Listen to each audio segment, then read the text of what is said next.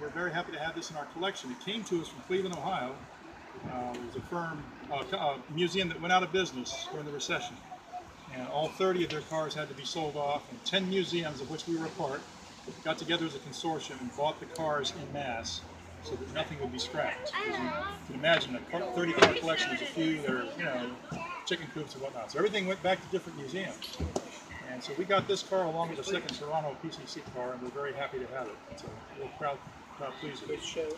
It's an air electric car, which means it has air brakes. Tickets, please. It does not have safety controls like modern cars. You must have two people to operate it. So in other words, if anything were to happen to me, it wouldn't come to a stop unless he came I would- out- I he had would to throw me I out of would the way, Gallantly run up to the, to the bow here and toss me over the side, and just pull the car, bring the car to a stop. In the name of yes, I- it's it's in your leg. money. when we get back So up to we the, did it's. A whole year to set that. trolley pole, and the same principle. The put, there's electricity, 600 volts direct current.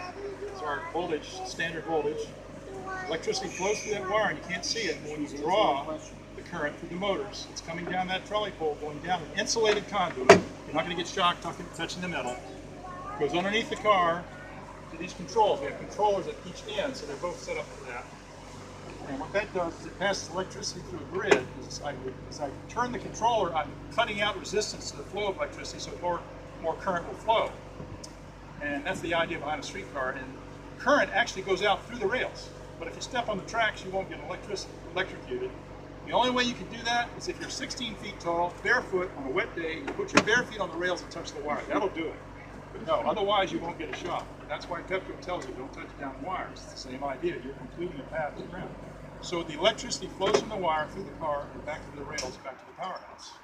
We generate our own electricity, stepping down voltage we get from Pepco. It's a different voltage. We have to do things to it. I won't go into all of that.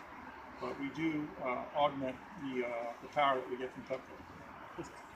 And you said earlier that the, the connector up there has to be switched if you're going to use a car back forward. Yeah, we'd have to turn that pole around. But, So, but you're not on this because you're no, and close. so we have a loop. we have a retriever at the other end that has to get have to rep and then attach it here.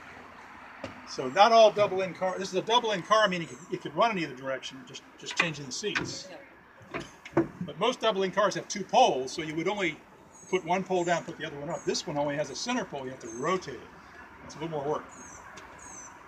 Any other questions? We're gonna do that when we get back to the car. Yeah, yeah, we are. we are, aren't we? it's not. It's the least fun part of this job. Any other questions?